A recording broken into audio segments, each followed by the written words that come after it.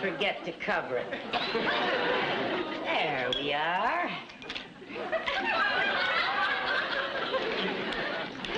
Congratulations. You're winning the war on poverty. Well, we all have to do our bit. Hmm. Listen, Dottie. Those look-alike contests, are they ever on the level? Of course. What makes you think they're not? Well, I once entered an Elizabeth Taylor look-alike contest, and I never even heard from them.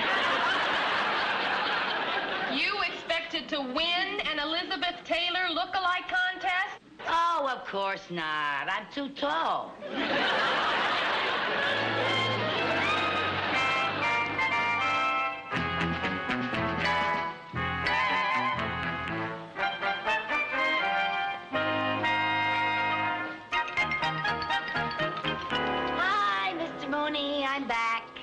Mrs. Carmichael, you take longer to eat lunch than Henry VIII. I, I had to do a little shopping, and I... Please, please, no excuses. Will you get to work? We have a lot to do. Yes, please, sir. Yes. please.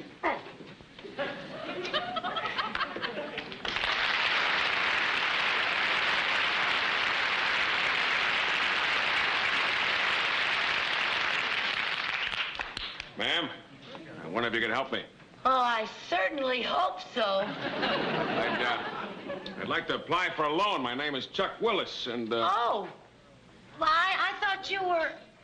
Your name is Chuck Willis? something wrong with that name? Oh, no, sir. No, sir, I love it. I love it. Uh, uh, you want to apply for a loan? Well, right over here.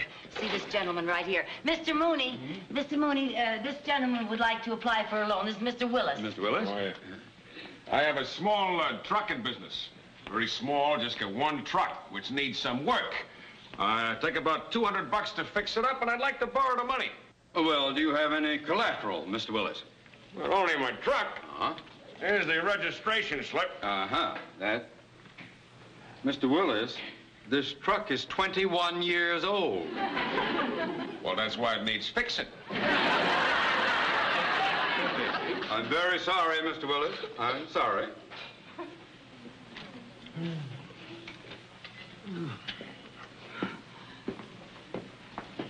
Mr. Willis. Mr. Willis, do you really need money? Oh, no, no, no. I'm really an eccentric millionaire. Of course I need money. Well, Gotta get that truck fixed. yeah, I know. Well, I know how you can get a brand new truck just by having your picture taken. My picture taken? Yeah, and you'll get $5,000, which you will split with me because I will arrange everything. You know, you're a little nuts. Well, now, that may be, but you know something? You look just like Robert Goulet. Who? Robert Goulet. I never heard of him. Well, anyway, you look like him. And Mammoth Studios giving $5,000 to the man who looks the most like him. Now, what have you got to lose? My mind. Now, look. Now, listen to me. You just be at this address tonight. I'll take your picture and your troubles will be over. You just look at the birdie and pow, instant money. You know something? What? We don't need no birdie. You'll do. Now, what do you mean by that? You're a cuckoo. Will you stop it? I- I'm just trying to help you. Okay, okay, like you say. What I got to lose, right? Good.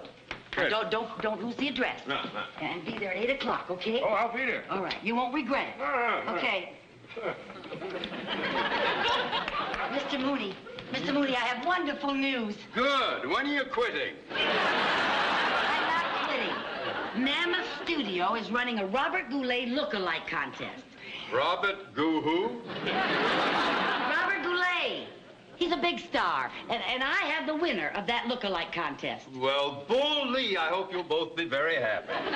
Mr. Mooney, that man, that Mr. Willis that was just in here, he's a cinch to win the contest. He'll get first prize, and all you have to do is take his picture. Who takes what? Well, I can't afford a professional photographer, and even if I could, he wouldn't be as good as you are. Why, why, you just take wonderful, wonderful pictures. This picture of Mrs. Mooney is just fantastic. That is a picture of the Grand Canyon. You know, it does look like Irma with that mouth open.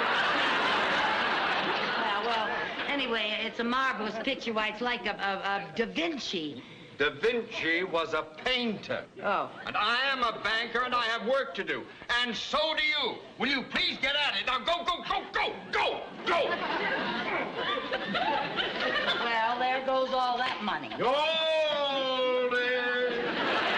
Oh, what money? Well, that's what I'm trying to tell you. The winner of the contest gets $5,000. And Mr. Willis is giving me half for arranging everything. Now, do you realize what my half comes to? Certainly. $1,250. What? 1250 Half of 5,000 is 2,500. Yes, and half of your 2500 is my 1250 You're joking. Then why aren't you laughing? Well, why should you get half of my half? I'll give you 10%. Mrs. Carmichael, you do not bargain with Leonardo da Vinci.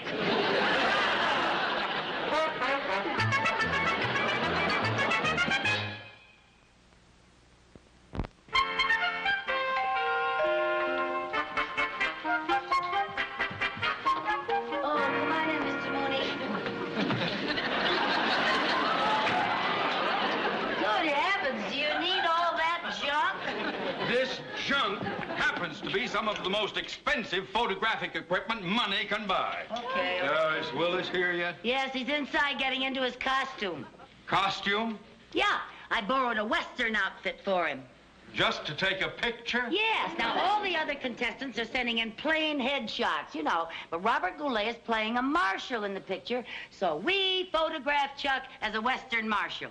Now that is showmanship. I must admit, Mrs. Carmichael, you are thinking, Thank you. which is more than you do in the bank. Why do you always have to add that? True. Good heavens. Look at this. Hmm? What? Who's that? It's Robert Goulet. Oh. As he's in his Western outfit for the picture, see? Now, when I get through with Chuck, he's going to look exactly like that. Hmm. I have all the makeup right here. Hmm? See? Grease paint, rouge, eyeshadow, eyebrow pencil, mascara, everything. Wouldn't plastic surgery be simple? Well, here's our marshal now.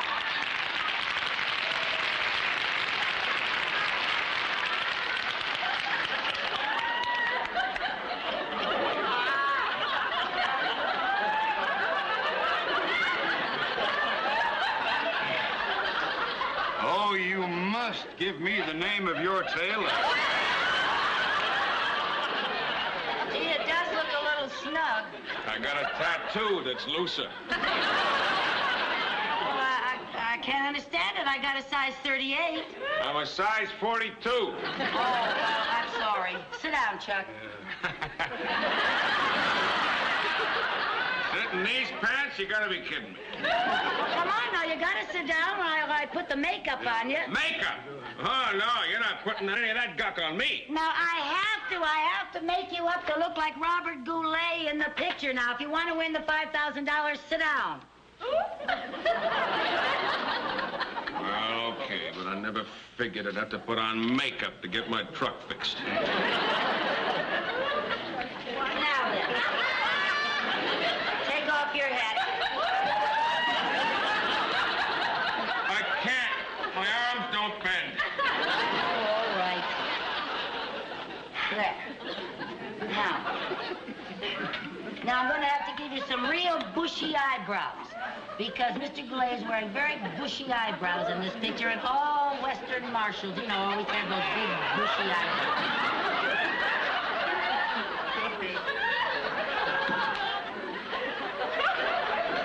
Is it always this painful? No, no. Hold still. Ah. Yeah. Now, now I'm going to put some eyeshadow up here because I want you to look. Close your eyes and relax your face. I want you to look real weather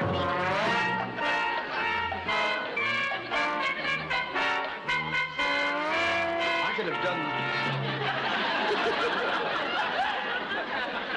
What's that? Haven't you ever seen a horse before?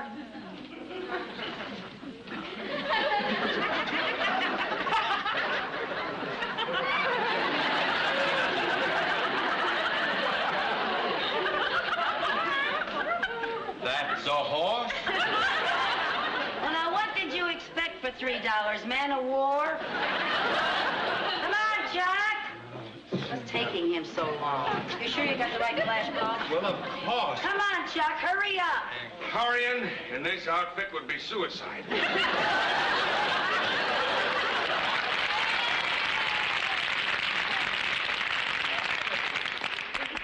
What's? That is a horse. You are a. You gotta have a horse. Now, come on, leap into the saddle. Not with these pants on. Come on now, Chuck. We gotta have you up there so we can take the picture. Come on.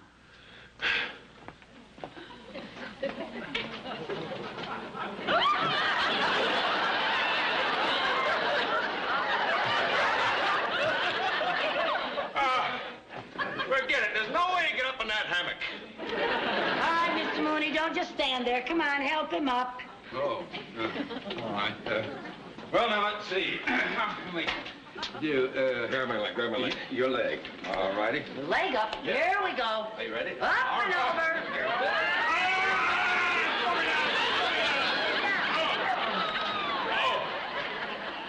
Forget it. I told you it's impossible. Now, Chuck, nothing is impossible. Now, you gotta get up there so we can take the picture.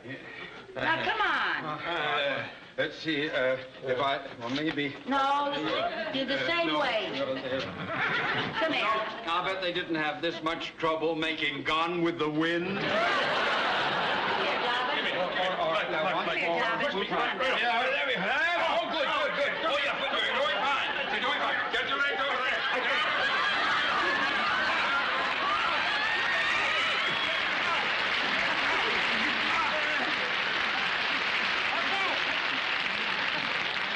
All right now. Okay, how's that?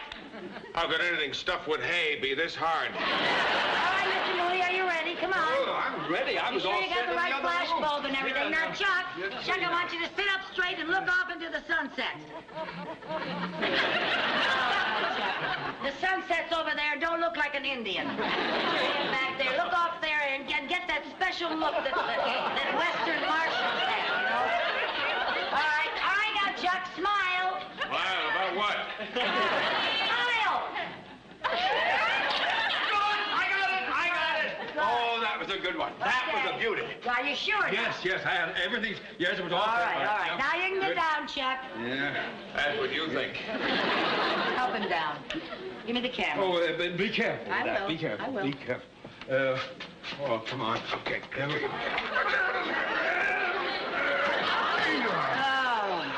Now, you sure you got a good one, Mr. Mooney? Oh, it was perfect, perfect. Oh. I want to tell you, Chuck, that's $5,000 in the bag. Isn't that great? You'll be able to get rid of your old broken down truck. Well, right now, that old broken down truck is in better shape than I am. Ah,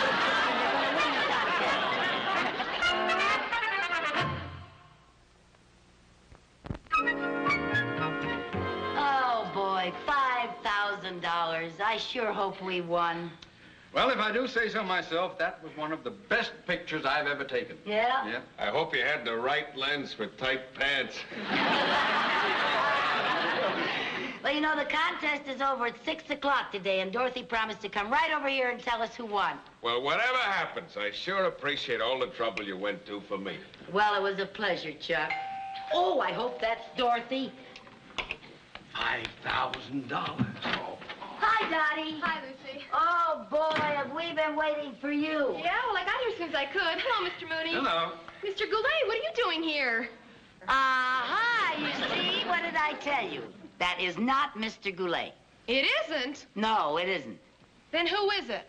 Oh, I think you probably know his name. How would I know his name? Well, now, who won the contest? Arthur Finster. Arthur Finster. Arthur Finster? Who's Arthur Finster? Well, he won first prize.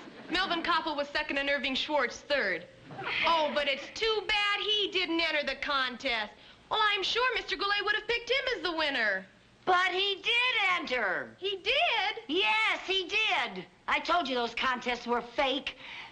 You know, Chuck, tomorrow we're going over there and see that Mr. Robert Goulet. What for? Because I'm not going to let him get away with this. I let Elizabeth Taylor get away with it, but never again. till I get into that. Yeah, well. There's nothing wrong in being sentimental if the one you love is sweet and strong and gentle. Put pride aside and tell me that you love me.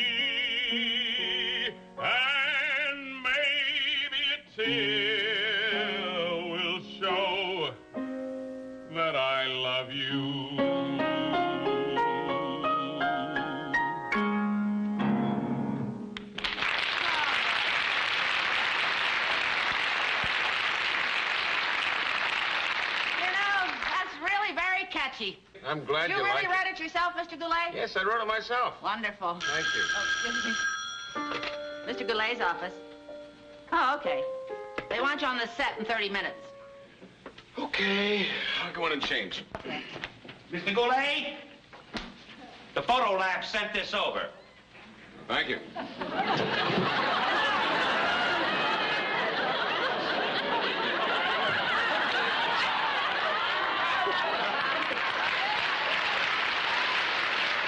had it enlarged? Oh, yeah. If things get really grim around here, I can always get a good laugh from this. Can you imagine some nut sending this into the contest? You know, it does look a little like you. Oh, I wish you hadn't said that.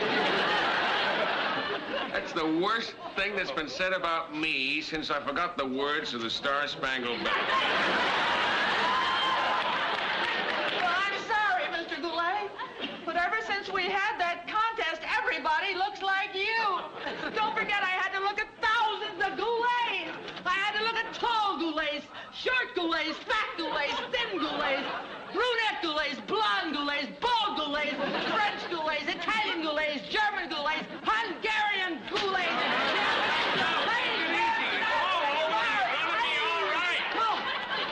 Well, but I've only got two more visits to my psychiatrist left. Well, that's fine. Just relax. Take it easy and sit down.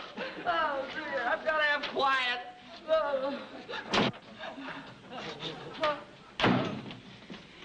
I'm glad you like it. May I help you? Chuck, come in here. there it is. Chuck? Now that proves that you entered the contest. Oh, Toledo. No wonder I never won.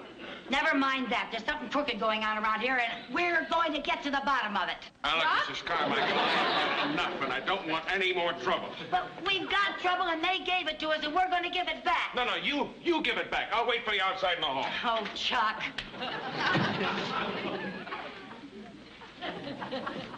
I would like to see Mr. Goulet, please. So would I. so would I. Yes, Miss Ella? Is that you, Mr. Goulet? Well, now, of course it's me. Who are you expecting, Arthur Finster? Oh, Aha! Ah, so they know each other, then it was fixed. Whoever you are, you better come out here.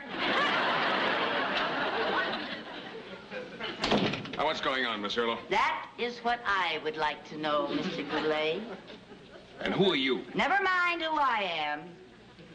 Come with me. Come, come, come.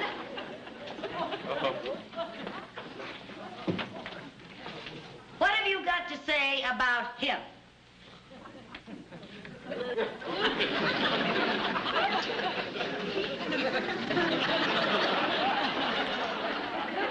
I must be hitting too many high notes.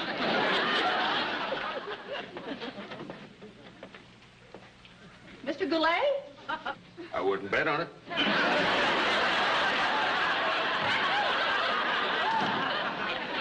Chuck, Yeah. come on in here. Now, we're going into Mr. Goulet's office, and we're going to find out about this. Now, go on, get in there. Don't leave me! I'm cracking up. I don't want to be out here alone. What's the matter with you? I'm sick. Mr. Goulet? No, I I'm Chuck. Kung. What happened? What wonderful. What? What's wonderful? Mr. Goulet just hired me as his double. What? and I'm getting a salary I never heard of in my whole life. Hey, you know, that Goulet's sure a nice guy. He's a lousy actor, but a nice guy. You'll like him. I like him. Oh, yeah, he wants to have you out for lunch tomorrow to thank you for getting us together. Me? Lunch with Mr. Goulet? Yeah. When? Tomorrow. Tomorrow. Tomorrow. How about that? I'm in show business. Oh, did you hear that? I'm gonna have lunch with Robert Goulet. nice. Oh, oh, my hair. What's the matter with I, I gotta do my hair. And what'll I wear? Where will we go? Uh, well, well, what do we have? Champagne, I bet, huh? Champagne and caviar. Champagne Mr. Goulet? Chuck? Now I'm off of Finstock.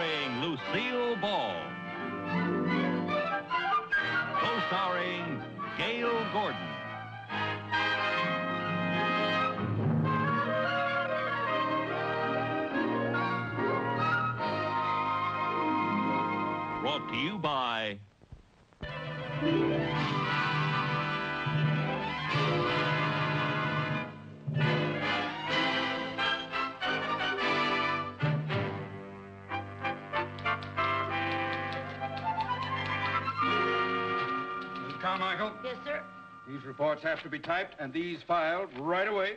But, Mr. Mooney, it's 6.30 already. Well, thank you, Mrs. Carmichael. I still know how to tell the time. But all this work will take me at least two hours. Will I get paid time and a half for overtime? No, you won't get paid anything. But that's not fair. I'll be working later than anybody else. You got here later than anybody else. I had a good excuse for being late this morning. Good? Yes. Believable? No. I'm sorry, Mr. Mooney, for being late, but the smog was so thick I couldn't find the bus. I couldn't. No, get to work, please. Yes, sir. Working overtime for no money. Nobody appreciates anything around here. Oh, yes, they do. Only this morning I called our president, Mr. Cheever, and I told him that my chair was worn out, and he told me that I would get a new chair. Yes, indeed. They reward people around here who use their heads. Then how come your chair wore out in the seat?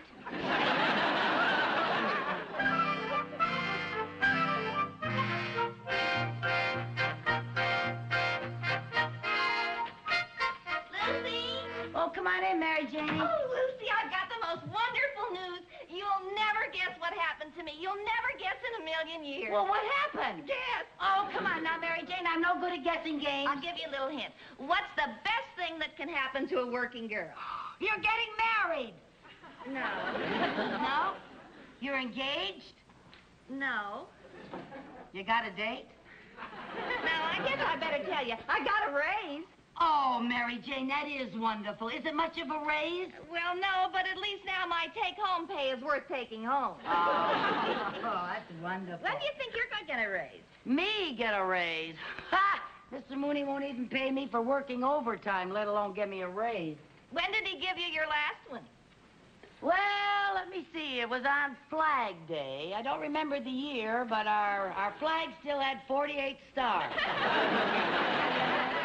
Oh, that's terrible. Yeah, well. How much money are you making now, Lucy? Oh, I'm ashamed to tell you. But every time I file my income tax, they send me a sympathy card. Have you ever hinted to Mr. Mooney that you wanted more money? Hinted? Look, I've done everything. I've skipped lunch telling him I couldn't afford to eat. I told him I have to walk to work because I can't even afford a bus. The only time I ever got a reaction out of him was once when I came in with big holes in my coat. Oh, and he gave you a raise? No, he gave me a needle and thread and told me to stop looking like a slob.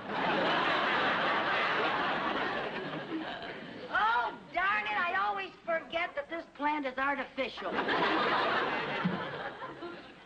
I just don't understand it, Mary Jane. Seems to me that everybody in that bank has gotten a raise except me. Well, I just think you're using the wrong approach. Well, what is the best way to get a raise? The best way to get a raise is to point out to Mr. Mooney what a good worker you are, that you're never absent, you're never late, and you never make mistakes. Uh, well, what's the next best way? Have you ever tried to appeal to his good side? I've never been able to find it. Well, Lucy, honestly, you've been there long enough. You're entitled to a raise. You're telling me. Well, you should just ask for it. I have. Be firm about it. Go in there in the morning and beard the lion in his den. Okay, but it would be easier getting a raise from a real lion.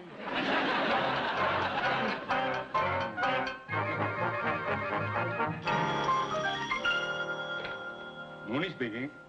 Oh, hello, Mr. Cheever. Yes, sir, the new chair arrived, sir.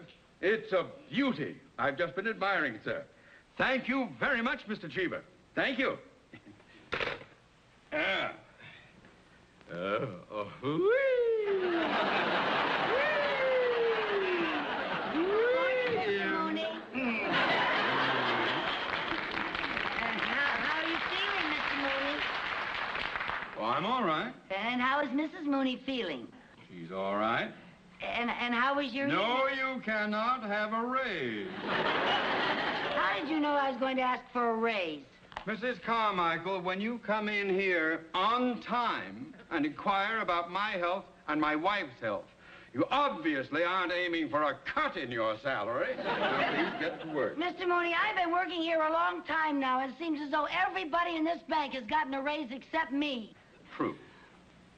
Well, Mr. Mooney, I realize I haven't been a very efficient secretary, True. and I am almost always late. True. And I, I do take a little too long on my coffee breaks. True. And I'm not a very good typist. True. But, Mr. Mooney, you're not going to give me a raise, are you? True. Why won't you? Because, as you just said, you're not efficient, you're always late, you take too long for your coffee breaks, and you are not a good typist. Yeah, but you can't think of one single reason on your own. Mrs. Carmichael, we, uh, we have a very busy day ahead of us. Please get to work.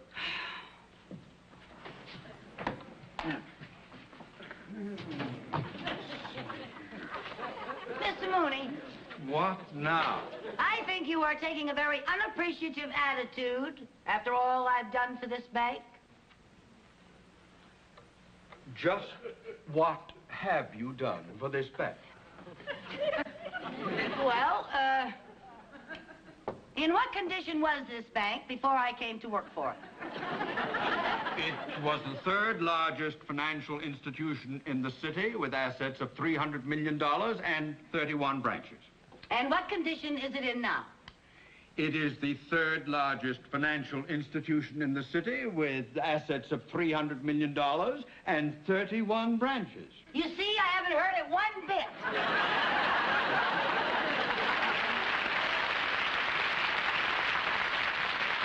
Back, back, back. I still think you ought to give me a raise. Nobody gives a raise. You have to earn it. Well, how? Either by being very efficient, which in your case is too ridiculous to discuss, or by performing some outstanding service for the bank. Like what? Well, Mr. Cheever gave his secretary an increase because she devised a new system of bookkeeping. She also suggested an advertising slogan for the bank. She also wears a sweater two sizes too small. Mrs. Carmichael, this is no time to be facetious. Now let me give you a word of advice. Remember, the laborer is worthy of his hire. The climb up the ladder of success is not easy. How do you suppose I got where I am today? You married the boss's daughter. I did not. She was his niece. I work very hard to maintain my position here. I work extra hours. Uh, for example, today I am having lunch in my office. So I can be here for an appointment with an important client. To get ahead, you have to work, work, work, work. Now you think about that, Mrs. Carmichael. Mr. Mooney, What? Uh, I'm going to take 10 more minutes on my coffee break and just think about that. You are impossible.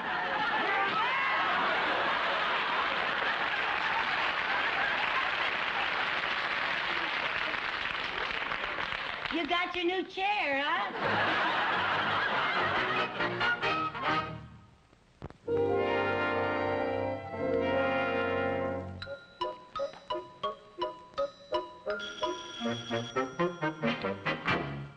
Speaking. Oh, yes, Mr. Cheever. Uh, yes, I'm expecting Mr. Leonard any time, sir. Well, I know he's a very important client of ours, sir, but I've never met him personally. He did. He produced the Danny Thomas show, yeah? Dick Van Dyke. Oh, and I Spy. Oh, well, thank you, sir. That's a big help to me. Yes, indeed. Thanks very much. Oh, and uh, thanks again for the chair. I flipped over it. Uh, goodbye.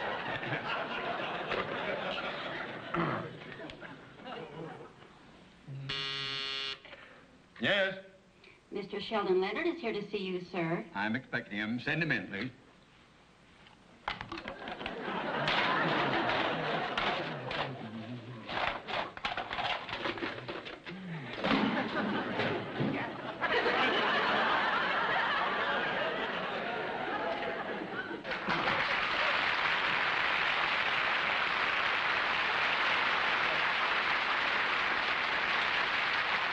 Mr. Leonard. My, it's so nice to see you, sir. Thank you. Have I interrupted your lunch? No, no. uh, Oh, no, I had uh, lunch uh, hours ago, sir. Here, please. Oh, uh, Mr. Leonard, won't you sit down, sir? There you are. Thank Make you. yourself comfortable. You know, Mr. Leonard, although we've never met, I feel that I've known you for years. I used to go to all those gangster movies you were in. I'm quite a fan of yours. Yes, I made a lot of those gangster movies. In fact, I still get bumped off three times a night on the Late Late Show. Well, you were so believable as a gangster. Maybe I was too believable. Every time I stepped out of the house, the cops arrested me.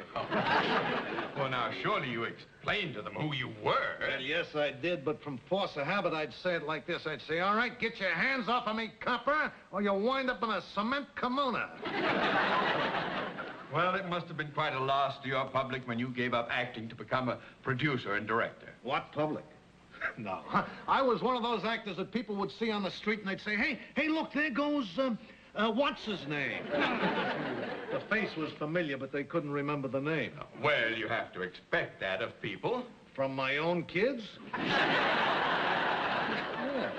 Twice the little finks turned me in for the reward. Well, I must say it was a lucky day for television when you gave up acting and became a producer. Oh, I don't know about that. Oh, yes, it was. It was indeed. Why, anyone who owns a television set today knows the name Sheldon Leonard. Except my kids. they still refer to me as what's his name. Now, well, I won't forget your name. No? sir. I love those television shows of yours. There's that Danny Thomas show, the Dick Van Dyke, I Spy.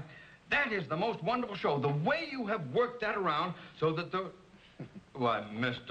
Leonard, you're blushing. Am I embarrassing you? Well, yes. Oh. but please continue. you forgot Andy Griffith's show and Gomer Pyle.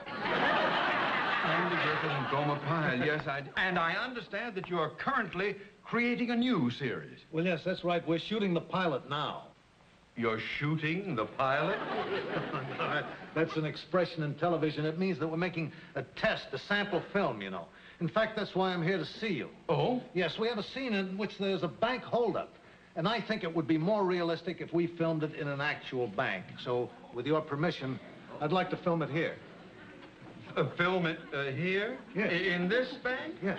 Uh, well, well, now, I'd like to oblige you, Mr. Leonard, but that would disrupt our entire day. Well, I don't intend doing it during your business hours. No, we'll film it at night after the bank is closed. Well, it's unprecedented and against all regulation. We're bonded and fully insured. Well, I'm afraid not. It's, it's quite out of the question. The screen credit will read Technical Advisor Theodore Mooney. That's Theodore J. Mooney, and when do we start? We want to film it tomorrow night, but I'd like to come in tonight and rehearse the scene with my principal actors, if you don't mind. By all means. And don't you worry about anything going wrong, Mr. Mooney. I'll watch your money as if it were my own. well, with all the shows you do, most of it is. That's a little joke. I just made that up. right on the spur of the moment. Maybe you could use it in your, uh, your, it's not very funny. Uh, is there anything else I can do for you, sir? Well, I would like to familiarize myself with the layout of the bank here. In the words of the trade, I'd like to case the joint. Yo, case the joint by all means. Help yourself. Make yourself at home. Oh, I'd better give you a key, Mr. Oh, Leonard. Yeah. Now, here's the key to the front door of the bank, so you can use that tonight. Ah, thank you. You're welcome. Thanks very much. A great pleasure meeting you.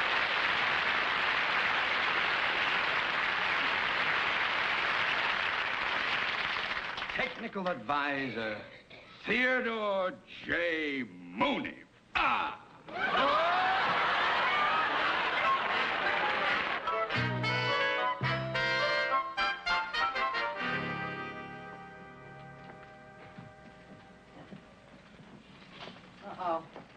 Bank's kind of busy. Give me your check, Mary Jane. I'll have it cash for you so you won't have to wait in line. Okay, thanks.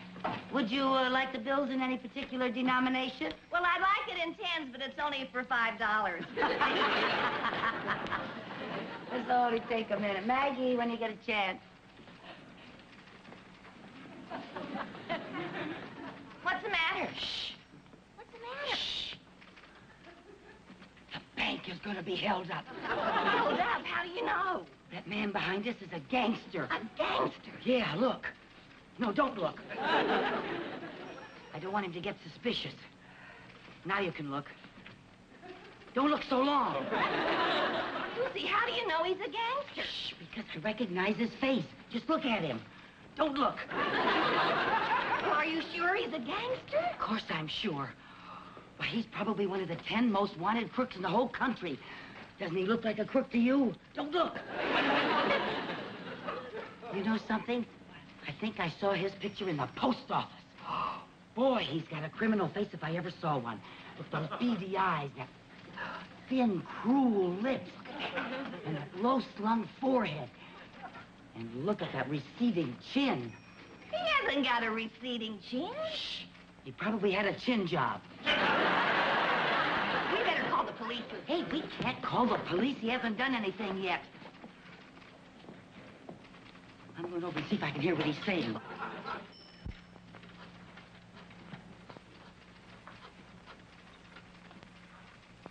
Hello, Frankie.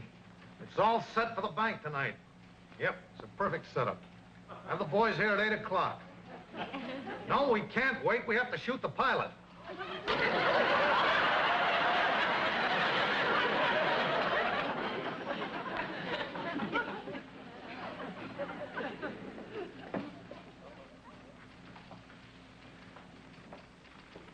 I was right. He is going to rob the bank. what? Right. Not only that, he's going to make his escape in a stolen airplane. How do you know? He just said he was going to shoot the pilot. Let's call the police. No, now, wait a minute. We don't have any evidence. Well, you said he was going to rob the bank tonight. Yeah. And I'm going to be right here when he does. Lucy, you're crazy. No, I'm not. The minute he starts robbing this bank, I'm going to catch him red-handed. You better tell Mr. Mooney. I will not. There's probably a reward out for that crook. Mr. Mooney's the type who would keep it. Besides, this is my chance to do something for the bank so I can earn my raise. There's got to be an easier way to get a raise. Well, there is, but I'm not the type to wear a sweater two sizes too small. now, listen. This is what we're gonna do. We? Yes, we. Now, listen.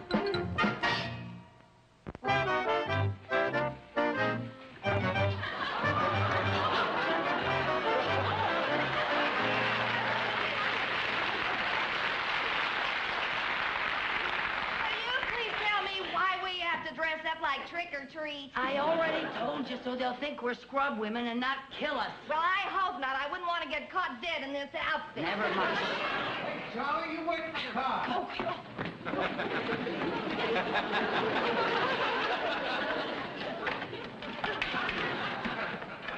okay, fellas, come on. Oh, the nerve of him coming right through the front door. Oh, really, stop it. Shh, don't talk. Shh. Listen, don't talk. Well, you're talking. Let's not talk about not talking. Shh. This is really a setup. It's a perfect setup. Yeah. There's a good place for us to line the people up when we start shooting. Right there. Now remember, this whole thing has got to go like clockwork or we blow the whole bit. Now, Louie, you go back to the cashier's cage and scoop up all the money, right? Go. Oh, you, you get ready to unpack the nitro so you can blow the vault. All right? You stay at the door. Keep an eye on the...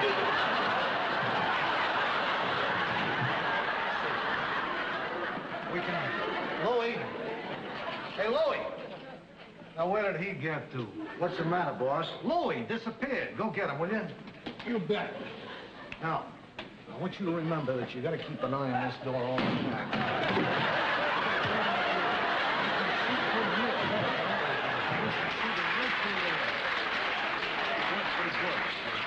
Harry! Hey, Harry! Harry, Louie! Where did they get to? Everybody is disappearing here. Go find them, will you? Okay, I'll get them. Bring them on. I got to talk.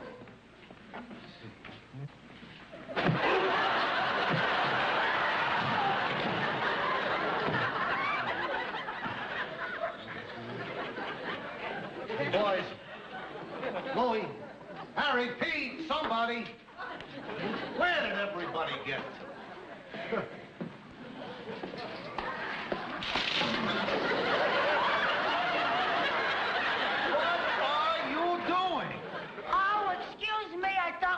here alone. No, we wasn't here alone. Oh, Did you see some men go back there? men? Yeah. If there was men back there, you think we'd be out here? I better go see for myself. Okay, you crook.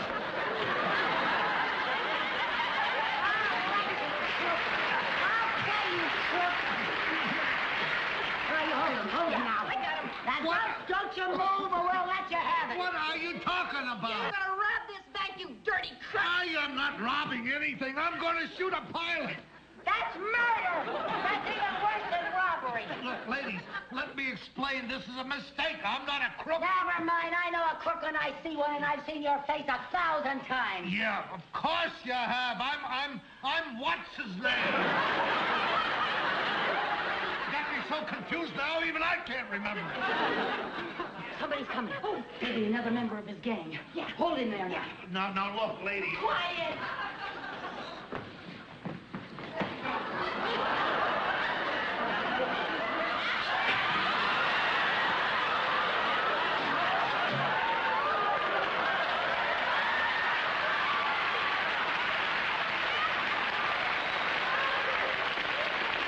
He's holding up his own bank. What are you talking about?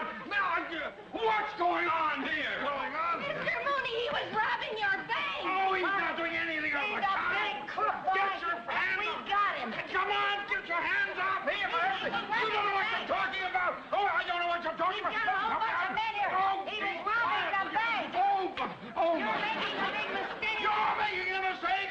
Oh, You mean he's not here to rob the of bank? course not. I know I'm terribly sorry. Now, what happened? I don't know. All the years I've been in the business, I never had to fight any gangsters as tough as these two broads. Oh, who are you? What are you doing here? I'm rehearsing a new television series here. A television series. Yes, he's the well-known actor-producer. Actor, oh, of course. Oh, I should have recognized you. Why, you're, uh, uh, uh, you're, uh, uh, well, whatchamacallhim, uh, Uh, what's his name? He's Sheldon Leonard. Hey, Sheldon Leonard. Oh, oh, Mr. Leonard. Oh, I feel so embarrassed. I'm terribly sorry. Come on, Mary Jane, let's get out of here. I'm sorry. Just a moment, you two. Just a moment. I want to know what's going on around here. Well, uh... Yeah, so do I. Yeah, well, uh... I, I, I'm Mr. Mooney's secretary, and, and I thought you were robbing the bank, and, and Mr. Mooney said I could earn a raise if I did something extra and special, and when I heard that, uh, that, that you that you were going to shoot a pilot, well, I thought you were crooks, and, that- and that if I caught you, I, I, I'd get a raise, and, and the Department of Income Tax could stop sending me sympathy cards. What's he saying? I wouldn't know. I speak seven languages, but not hers. I'm terribly sorry. Come on, Mary Jane. No, wait, wait, wait, wait a minute. Come, come back here. Come here. Uh, what? Uh, You ever done any acting? acting? Yeah. No, sir. Well, I, I suddenly got this idea for a new television series. You see, it would be about this, this kooky red-headed girl, you see, and she works in a bank, and she gets into all sorts of impossible situations, and forget it, nobody would ever believe it.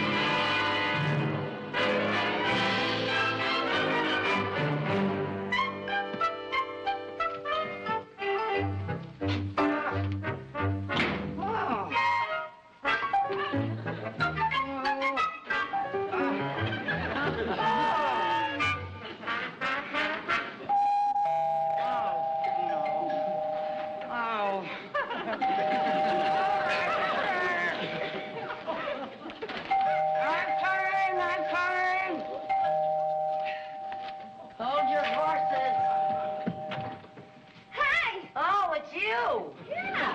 Hey, I've got the most wonderful news for you, Lucy. Good, I can use some. Are you still looking for a chance to make extra money? Well, I sure am. If I don't make a payment on my television set this month, I'll be back to eating my TV dinners in front of my radio. Your problems are over. Oh? One of the producers at our studio is looking for a secretary to work at his house over the weekend. That sounds wonderful. Guess who the producer is? Who? Milton Berle. Milton Berle, the comedian? It's Milton Berle, the producer. Now he's producing a motion picture.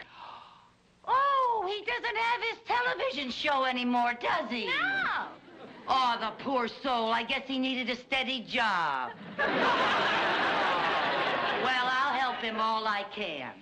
Oh, he's a wonderful man. Okay, Miss Evans. Uh, when he comes in, will you tell him that Milton Berle called?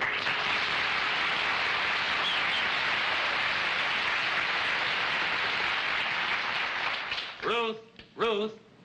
Yes, dear.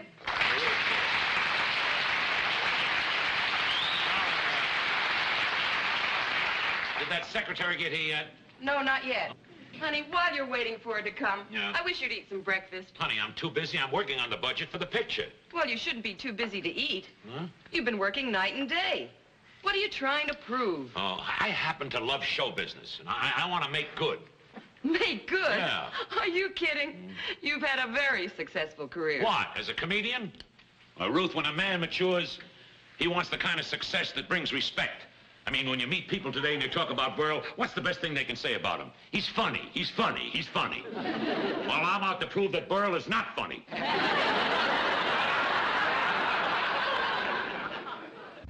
That's not a nice thing to say. I didn't say anything. That's what hurts. You love me too much to say it.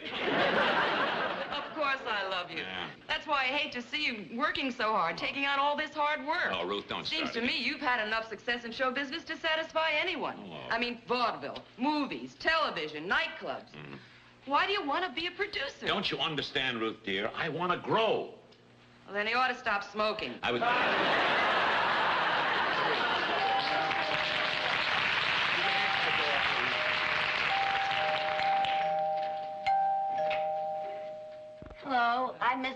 Carmichael. Mr. Berle's been waiting for you. Oh. Well, I, I sure am looking forward to meeting Mr. Berle. May I take your coat? Oh, thank you. My, you know, I'm a, I'm a very big fan of his. Uh, once I sent him a letter, and, and he sent me an autographed picture. Well, now you can meet him in person. Oh. Mrs. Carmichael, this is Mr. Berle. How do you do? Oh, Mr. Berle, I can't tell you how happy I am to meet you. I'm one of your biggest fans. Oh, you're putting me on. No, I'm not. You can ask your maid.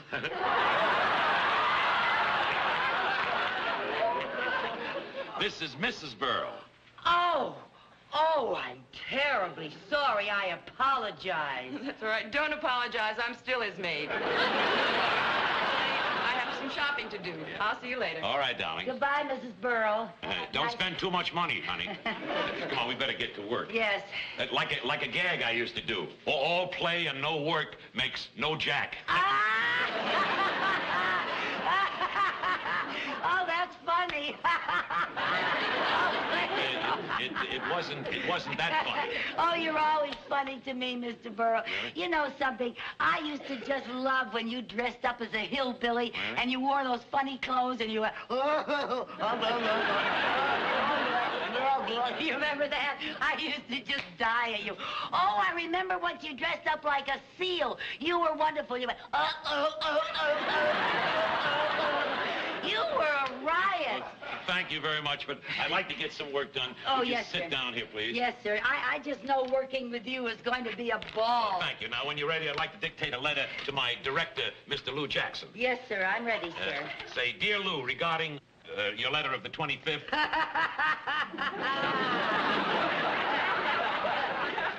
what are you laughing at? well, you always make me laugh. What's so funny about regarding your letter of the 25th?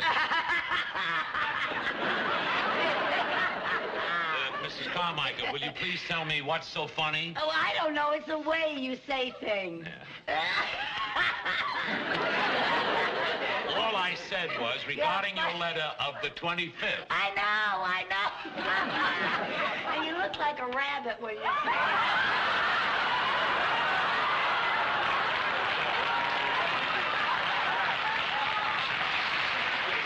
let's get back to work. Yes, sir. I uh, I loved uh, I loved your suggestions, and I think that we should get Robert Wagner to play the part of the pilot. Oh, Robert Wagner's very good. Thank you. If you have any other ideas on this, let me hear from you. Well, I'll think about it tonight. I, I was dictating. Oh, oh.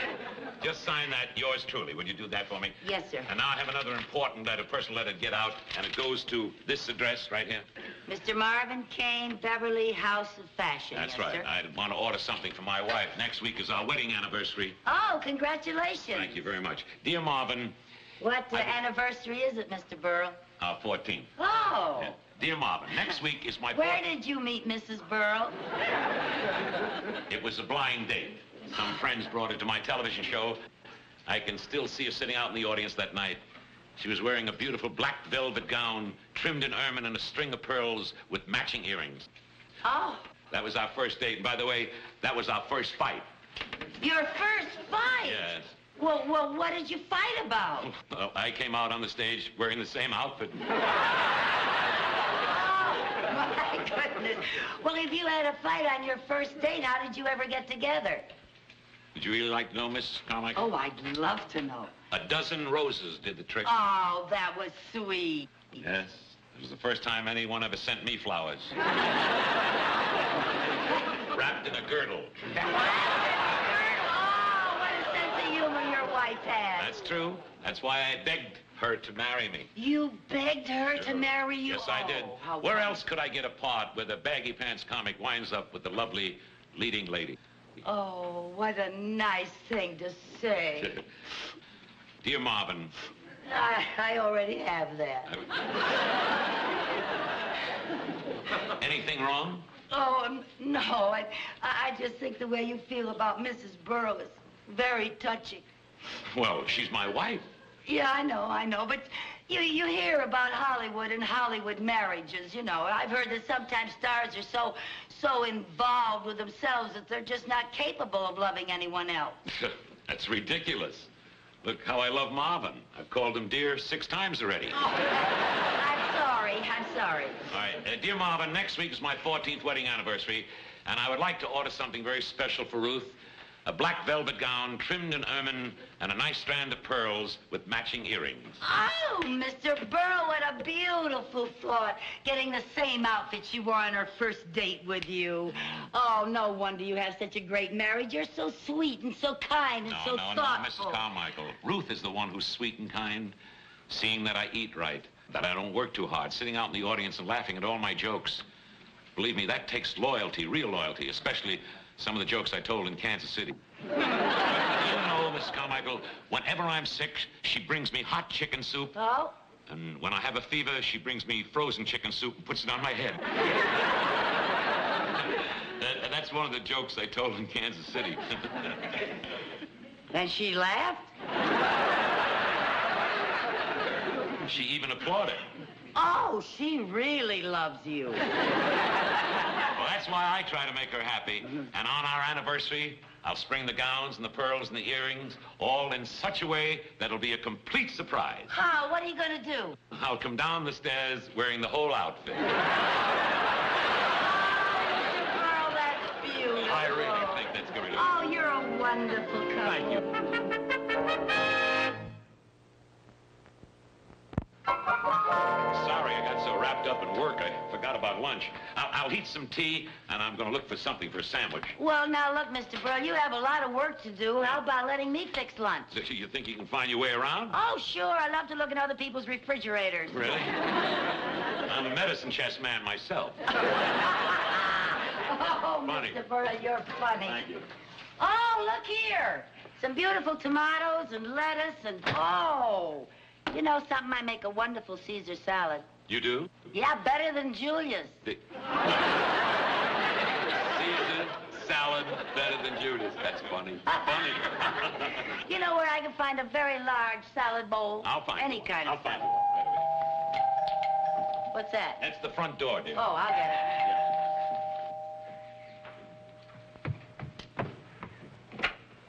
Hello. Oh!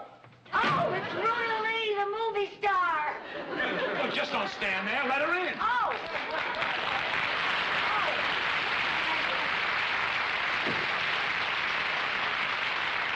Ruta, I, you'll have to excuse my secretary. She didn't mean to kill your entrance. She just gets excited about movie stars. Well, it's good to see you, Ruta. Uh, Ruta is a friend of the family. Oh. Uh, let, let's sit down. The, what? Oh, yes. Uh, uh, Ruta, this is my secretary, Mrs. Carmichael. Hello. How do you do, Miss Lee? I'm so glad to meet you. I go to see all of your movies. Do? Yes, some of them I see two and three times. Well, thank you. I never get enough of you, Miss Lee. Uh, You know, I just wish you were old enough to have some of your pictures on the Late Late Show. oh, that's very flattering. to me, it isn't. Uh, let's uh, sit down and get comfortable.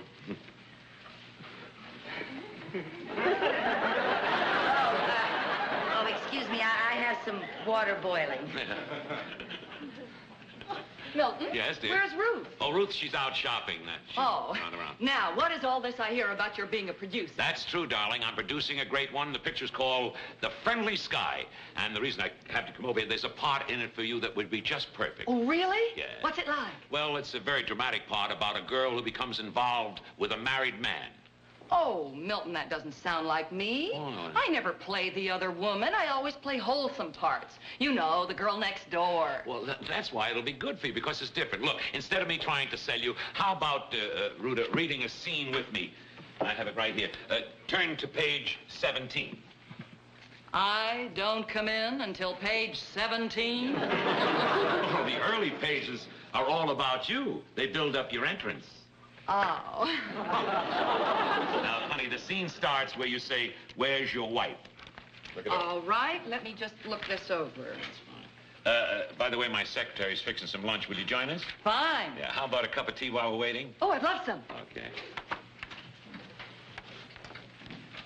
Mrs. Carmichael? What? Mrs. Carmichael? Yeah, where are you? I'm talking on the intercom. Can you hear me? Oh, yes, you're coming in loud and clear. Miss Lee is going to join us for lunch. Oh, really? Yes. And we'd like a cup of tea now. Oh, Roger. How about it, beautiful? Are you ready? All right, Milton. Now. Where is your wife? Who cares about my wife? We're alone. Darling, it's so wonderful to see you again. Not nearly as wonderful as it is for me to see you. What a shame that we have to steal these precious moments. I treasure every one of them. But what about your wife? Are you sure she doesn't suspect? My wife is too stupid to suspect. I've been trying to get rid of her for years. Darling, let's not talk about her. Just cuddle close and let my lips caress your loveliness. Oh, My love, my pet. It's no use. I can't go on sharing you. I can't, I can't, I can't.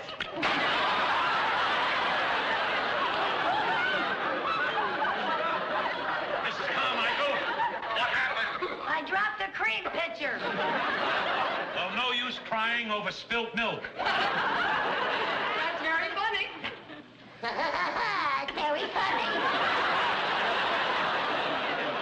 Luna, that's a wonderful part for you, am I right? Oh, I don't know, Milton. I'll have to think about this.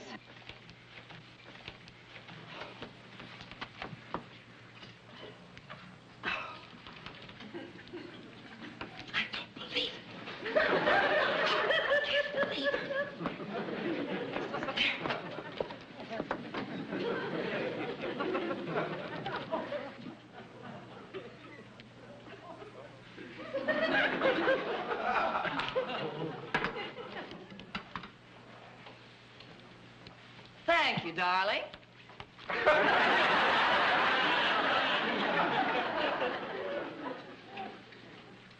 Thank you. Sugar. Mrs. Carmichael. I said sugar. Oh, I thought you were talking to her.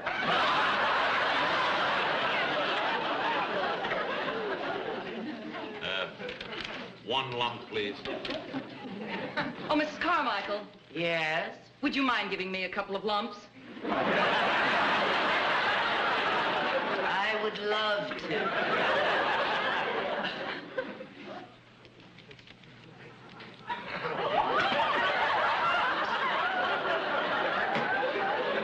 So sorry. All right. No harm done. I'll serve your lunch as soon as it's ready, sir. Uh, Mrs. Carmichael. Yes, sir. Would you uh, care to join us for some tea? Oh, I wouldn't think of intruding on your privacy. She's a wonderful secretary, and she makes a Caesar salad better than Julius. Milton, that's a very funny line. It's mine.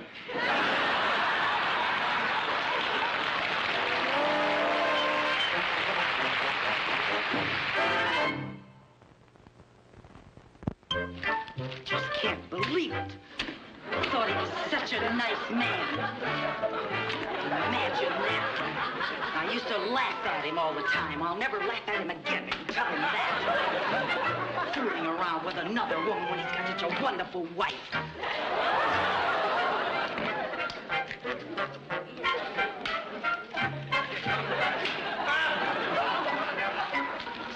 Sick. He ought to be ashamed of himself, that's what. Hi, Mrs. Berle. What's Mr. Berle got you doing? Oh, well, I, I, I, I'm just fixing him some lunch. That's very nice of you. Where is Mr. Berle? Uh, but, he's inside with a, a friend of the family. Friend of the family? Uh, Miss Ruta Lee. Oh, how nice. Milton's been wanting to get together with Ruta for a long time. Well, well, he, he got together with her, all right. I think I'll go in and say hello. Oh, no, no, they're very busy. They're very busy in there. I don't think you should go in. Uh, I, you, you've been busy, too, haven't you? Uh, yes, I've been doing some shopping. Yeah. I bought Milton a surprise anniversary gift. Oh, how nice. Well, I think I'll just poke my head in. No, don't poke. uh,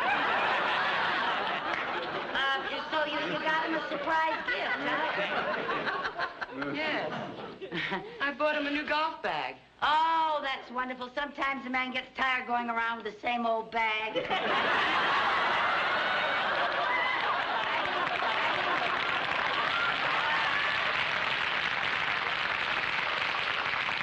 I mean, it, it, it's nice when a man has two bags. That's a good gift. No, I'm home. No, don't let him know you're home, please. You you better stay uh, right out here. You don't go in there because then he'll know you're home and he'll come out here and he might see your gift. You better hide it. You really ought to hide this. Y- yes, it's a beautiful gift. You don't want him to see it. If he knows you're home, he might come out here. Why don't you hide it upstairs? Maybe you're right. Yeah, I know I'm right. You know, I'm glad you're fixing Milton some lunch. He needs to keep up his strength.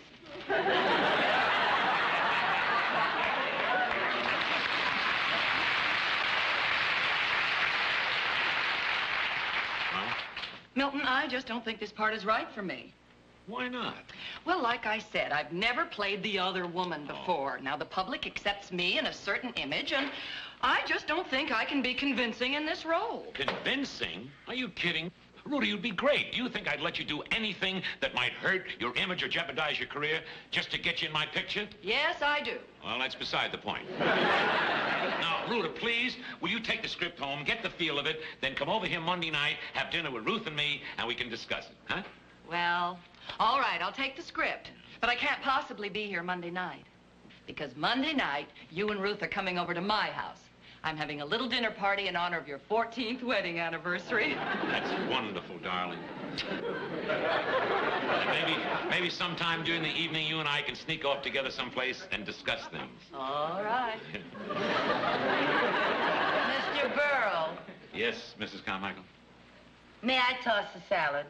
Please do.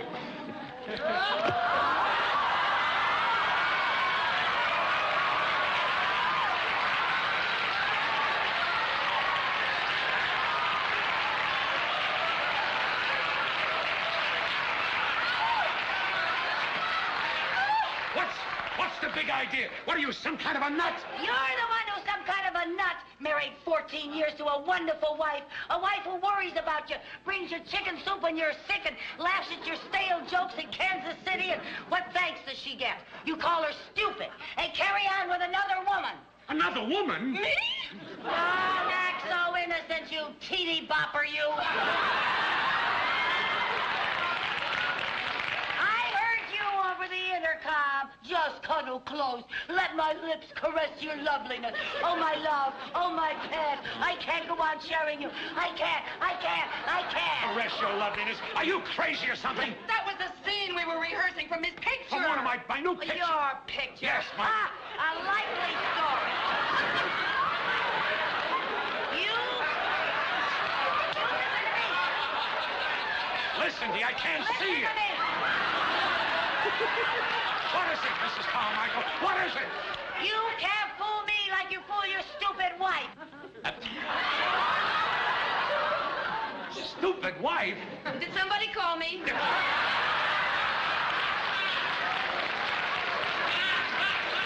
Ruth, Ruth. I thought you gave up comedy. Uh, Oh, I'm so sorry, Mrs. Berle. I tried to keep all of this from you, you poor little thing. Now, now, Ruth, this is an entire misunderstanding. I'll say it is. Yes, yes. Mrs. Carmichael overheard us rehearsing a love scene, and Uh. she believed it. You bet I believed it. I heard every word you said. You're not kidding me. Now, will you stop that? G- give me that. This is the script. This is the script that we're reading. Don't you see these lines? Now, what script? Caress me, my love. Let me caress Ah, your loveliness. My love, my, My cat, my cat. bear to share Yeah, you. read it, Look. read it.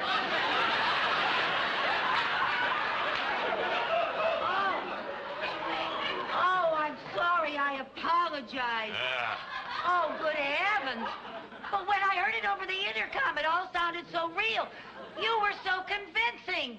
Oh, I don't know what came over me. I know what came over me.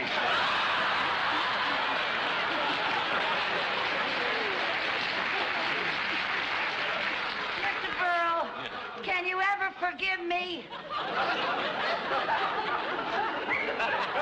Forgive you? Mrs. Carmichael. Mrs.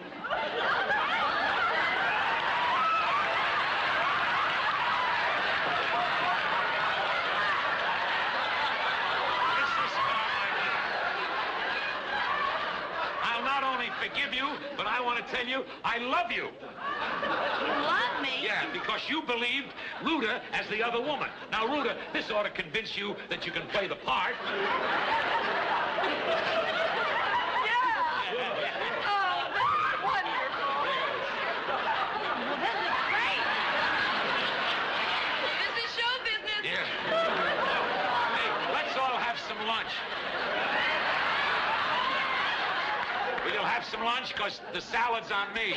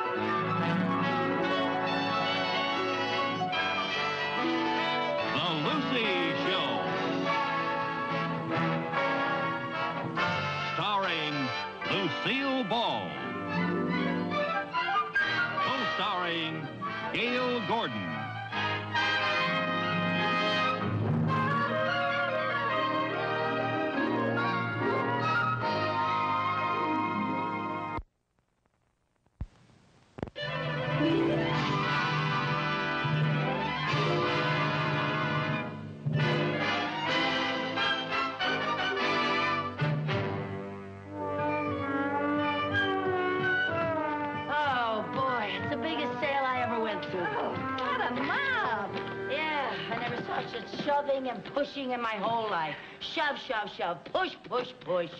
And some of the women still wouldn't let me through. What's so funny? Whoever said women were the weaker sex never went shopping with us. That's for sure. Gee, I wish that bus would come. I'm so tired. You know, they had some marvelous bargains there today, Lucy. They sure did. That's why I wanted to go to that store. You know, I have to be very careful of every penny that I spend. Well, how come then you bought three steam irons? Well, when they're marked down like that, you have to take advantage of it. Hey, at that price, they were a steal. Lucy, what are you going to do with three steam irons? Well, you never know when two of them are going to break down. That's the most ridiculous thing I ever heard of. Well, you know, you should talk. Last week, you bought a 100-pound sack of dog food. Oh, well, that was half price. You don't even have a dog. I might get one someday. Oh, ho, ho, ho. Want a bite? Oh, no, honey, I'm on a diet. You are? Yeah, I've been on a diet for a couple of weeks. I didn't know that. Yeah. For heaven's sake. Now, Lucy, you What? did it again. I did what again? You threw paper on the sidewalk. Oh, that. Listen, you do that all the time. The other day, you threw peanut shells all over the street. You know, you could get arrested for that. I could get arrested? Yes, of course. You know, it's very serious. That's against the Keep America Beautiful campaign. You might have committed a federal offense. A federal offense? I just hope nobody saw you. Oh, for heaven's sake, I better get it. Lu- Lucy, What? policeman. Policeman?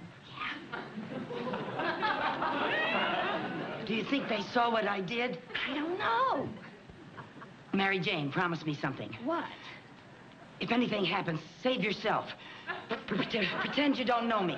Lucy, I can't do that. Promise oh, me. I promise. Oh, uh, excuse me, lady. Uh, does uh, that bag belong to you? I beg your pardon, sir. Are, are you addressing me? Uh, yes, madam, I was addressing you. Does that bag belong to you? Well, yes, as a matter of fact, it does. Oh, okay, sister, it's all over. Let's go. I beg your pardon? Go where? You can cut that innocent act. You have any identification? Well, I have a little birthmark, but I'm certainly not going to show it to... I just don't go around showing it to strangers. Let me see your driver's license. I don't have a driver's license. I don't even have a car. What's your name? Lucille Carmichael. Lucille Carmichael. Ha! Phony name if I ever heard one. It is not a phony name. Lucille Carmichael is my real name, isn't it? Tell him what my name is. Lady, I never saw you before in my life. But, uh, Are you coming along quietly, or do we have to get tough? Well, if you feel that way about it, imagine making a federal offense over a little thing like this. I'll take care of that. Oh, thank you. Holy smoke, sister. What have you got in here? Well, three steam irons and... My, my, you have had a busy day.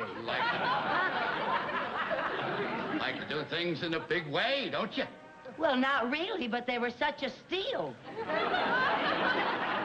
Come on, lady, let's go. All right. Come on. Now,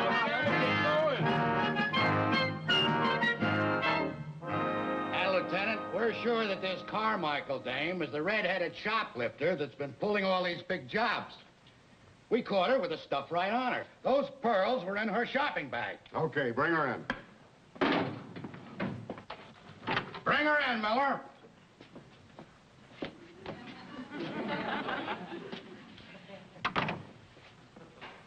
Hi. Hi. Your name is uh, Carmichael. Lucille Carmichael, yes. Lucille is spelled with two L's. Three if you count the first one. Uh, officers Peters and Miller. My name is Lieutenant Finch. well, I'm very happy to meet you all. And you have no idea how happy we are to meet you. Oh, thank you. Uh, won't you sit down? Oh, thank you. Now, just to get off on the right foot, it is my duty to inform you that anything you say will be held against you. Oh, yes, sir. And that you have a right to legal counsel if you so desire. Oh, no, I don't think that's necessary. It isn't that big a thing. Oh? well, suppose we all just settle back and you tell us what you did today. Oh, well, now that's not going to be very entertaining. We'll find it fascinating. oh, well, okay, where shall I start? Why don't we start with the beginning this morning? This morning. Well, let's see now. I got up early, about quarter of eight, I think. Maybe it was ten of. Yeah, about ten of eight, I think. And I read the paper. I always read the paper every morning, and I saw this ad for this marvelous sale, and I just love sales. So I called Mary Jane, Uh, uh, and I... uh, Mary, who's Mary Jane? Uh, she's my cat. Do you often phone your cat? Oh, yes, always. Always when she's away from home. I always call her and I say, what's new, pussycat? Well, let's, uh, let's forget the feline phone calls. Tell us about this sale you went to. Oh, well, as I say, I, I love sales, and, well, I'm the sort of person who just cannot resist picking up a few things. We can imagine. So, just like that, you decided to go shopping. Oh, yes, I do it all the time, especially when I don't feel like going to the bank. Bank? Yeah, that bank job gets so monotonous. We'll talk about the bank job later. Oh, Yeah. Right now, we'd like to hear about your shopping. all right, but why? Lady, when you've been shopping, word gets around. Oh, I didn't know that. Well, you better believe it, sister. Well, So you went shopping and you picked up a few things. well, more than a few. More than a few. There were, let's see now, three steam irons, a little bottle of cologne, a pair of curtains, two pair of curtains, and, uh, oh, I found a new eyelash curler and uh, a floor lamp. Floor lamp. Where was that? It wasn't in the bag. Well, of course not. You just can't walk out carrying a floor lamp. it's being delivered. By the store? Certainly. Boy, what nerve! You shot pretty good. Well, thank you. It isn't easy. With a crowd around like that, you have to be fast. Well, that takes care of the preliminaries. Now to the main event. I beg your pardon? The reason you're here. Oh, that. Oh, well, as a matter of fact, I'd, I'd like a chance to explain that. Would you really? Yes, you see, uh, I'm, I'm really not that kind of person. I, I just wasn't thinking. You mean you had a mental aberration? Uh, uh, I, I could have had that, yeah. Now, Carmichael, let's